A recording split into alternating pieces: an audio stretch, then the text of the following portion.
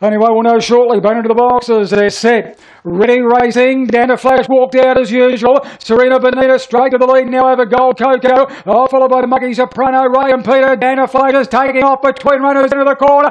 In fact, he's gone back to the inside. And Dana Flash has run to the lead from Gold Coco, Serena Bonita. Then Mucky Soprano, Mojo Selfie, Ray and Peter, Tornado Grove and Tango Flash in the straight. And Dana Flash the leader. Gold Coco's having a crack. Dana Flash has got a kick. Dana Flash beat Gold Coco, Serena Bonita. Fourth home Mojo Selfie. They were followed then by Muggy Soprano, Tornado Grove, Ray and Peter, and it was one of the last in the time on the last of 26.04.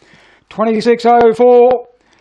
Well, he walked out as usual and he took off, but he had clear running along the back, but he stayed to the inside, rolled to the, uh, the lead off the top corner, and although Gold Coco has had a real uh, crack at him in the straight, made a real race of it, he has prevailed. 184 and 7 of the numbers, 1847.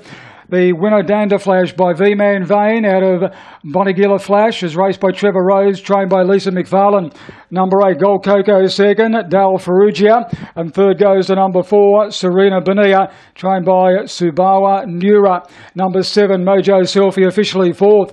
1847 2604. The winner of the return 32160 on the last. Margins of three quarters by one and three quarters. Three